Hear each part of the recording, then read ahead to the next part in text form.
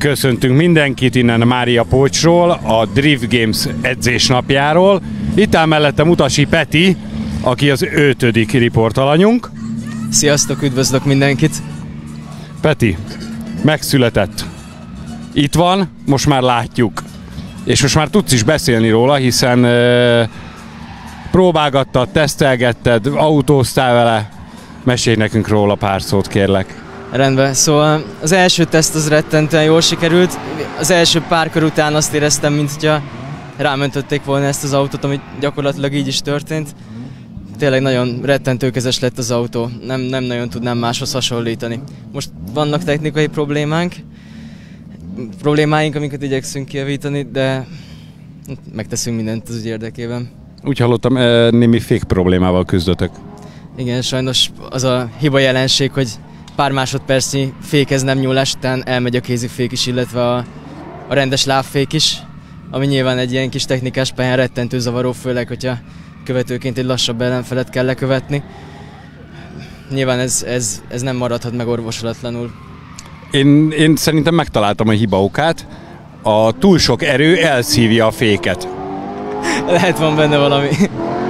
És attól függetlenül, hogy most kicsi technikai probléma van, mesélj meg kicsit bővebben nekünk róla, mert ezek a nézők nem biztos, hogy ö, ö, ismerik az autót, ismerik a dolgok előéletét. Szóval ez egy F22-es 2-es BMW, ami hajdanán 20D-ként látta meg a napvilágot. Most egy kicsit erősebb motor van benne. Ezt majd kivágjuk, jó? szóval most egy 3 és feles Stroker 2 EZ van benne. Jelenleg 850 lóerőn üzemel. Szekvenciális Samsung aszfáltó, klasszikus Winters diffi, ehhez tartozó rendes féltengelyek. Igazából minden, ami megköveteli ezt a, ezt a nagy teljesítményt, az minden be lett pakolva hozzá.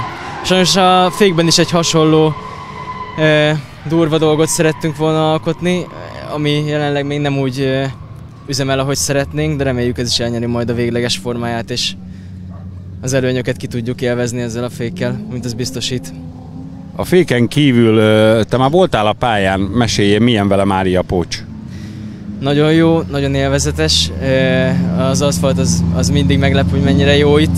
Nagyon, nagyon jól ki lehet használni a lóerőket egy megfelelő guminyomással.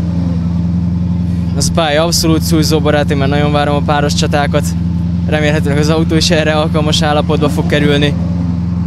Igazából megvan a klasszikus Mária Pócs feeling, jó a hangulat, mindenki segítőkész, úgyhogy egy jó hétvégének nézünk elébe. És most már csak a féket kéne megcsinálni, amit ha jól látom, Sanyikáik ott valamit bűvölnek hátul, reméljük, hogy sikerül nekik megoldani. Ö, hogy állsz az érettségével? Mesélj már nekem erről. Hát remélem anyukám nem hallja ezt. E, hát nem túl jól. Az alaptárgyak azok viszonylag jól sikerültek. A szakmai, szakmai rész, ami számomra elég nagy nehézséget okoz.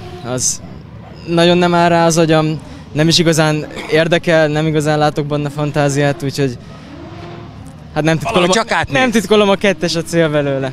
Aha, nem titkolom a kettes a cél, de fogadjunk, hogy itt nem a második helyre célzod meg. Nem egészen. Azért megpróbálsz a dobogó legfelső fokáig menni, gondolom. Itt mindenféleképpen. De akkor a suliban miért nem ezt csinálod? Nem látok benne fantáziát, akkor nehéz odaadóan Nincs motiváció. Így van. Hát ezt mondjuk meg tudom érteni, hogy a suliba annyira nem akar az ember tevékenykedni. Ö, nem tudom, van-e még kérdésem nekem a paripáról. Ö, akarsz-e még elmondani róla valamit, amit mondjuk így az első teszt után érdemes megemlíteni? Igazából tényleg csak azt tudom hangsúlyozni, hogy mennyire egy kifinomult műszer lett ez azokhoz az autókhoz képest, amiket eddig vezettem. Tehát tényleg az utolsó részlet is úgy érzem, hogy úgy áll rajta, ahogy kell. Most a féket leszámítva, hogyha azt nem vesszük.